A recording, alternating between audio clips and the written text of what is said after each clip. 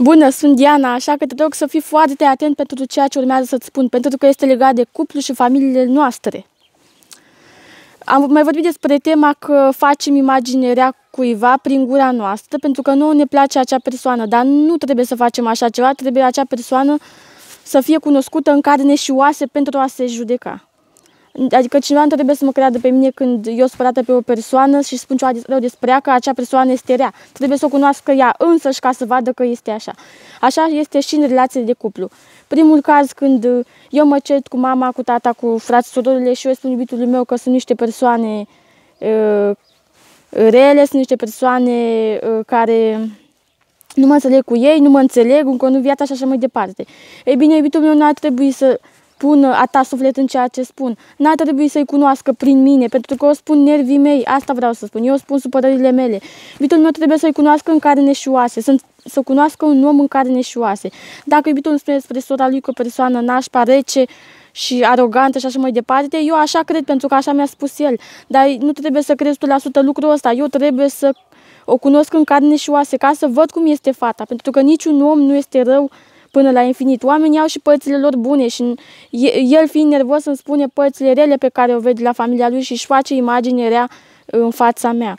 Deci trebuie să încetăm să ne mai spunem atât de des problemele iubitului sau iubitei, pentru că facem imaginerea tocmai familiei noastre și noi vrem ca familiile noastre să se iubească între ei.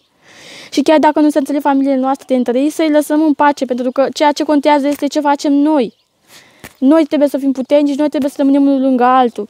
Familia mea mă iubește, familia lui iubește și dacă, și dacă nu se înțeleg între ei, asta e, trebuie să mergem mai departe. Sperăm că într-o zi se vor accepta. Cazul 2 este când eu fac reclamărea iubitului meu. Cum adică? Păi eu mă cert cu familia mea din cauza iubitului meu că nu mă las să fac anumite lucruri, nu, fa- nu mă las să fac asta.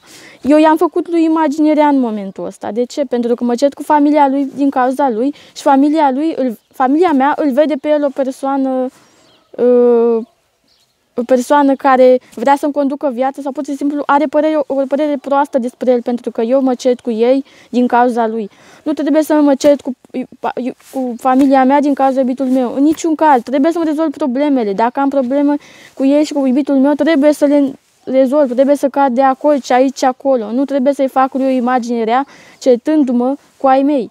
Și nu trebuie iubitul meu să se certe cu ai lui din cauza mea, că nu-i lasă să facă anumite lucruri pentru că astfel îmi face mie imaginerea și familia lui uh, mă vede într-un fel rău.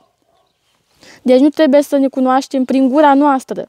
Trebuie să avem grijă la felul în care ne comportăm și dacă vrem cu adevărat să ne iubim și să ne înțelegem, trebuie să încetăm să ne facem reclamele negative, să găsim o soluție atunci când avem o problemă, să cădem la un acord, să facem ceva care ne convine și mie și lor, și mie și iubitului și familiei mele și să păstrăm armonia între noi. Nu mă cert cu ai mei din casa lui, nu vreau să-i fac imagine.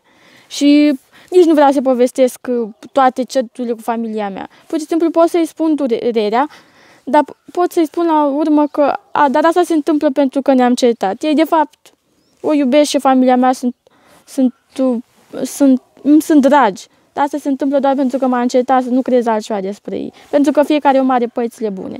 Dacă vrea iubitul meu să-i cunoască cu adevărat, trebuie să vină să-i vadă în carne și oase. Pur și simplu.